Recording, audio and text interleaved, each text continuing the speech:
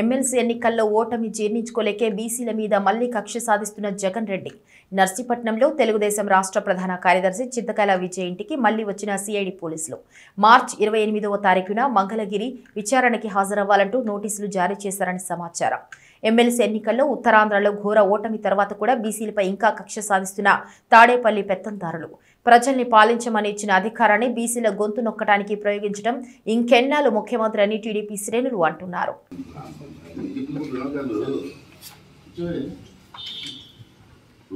క్యాంప్లో ఉన్నాడండి. నేను తీసుకోవడానికి అభ్యంతరం లేదు. కానీ షార్ట్ నోట్స్ నేను కమ్యూనికేషన్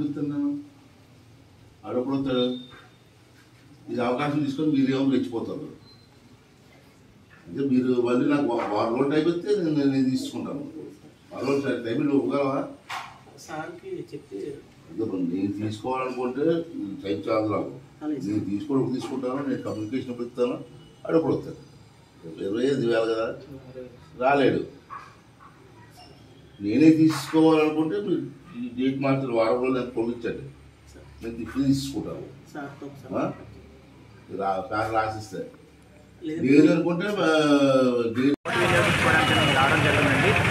అలాగే పద్మావతి గారు మళ్ళీ మా ఇంట్లో కుటుంబ సభ్యులు ఎవరైతే గ్యాస్ ఇస్తున్నారో ఎక్స్ మెజిస్ట్రేట్ అండి.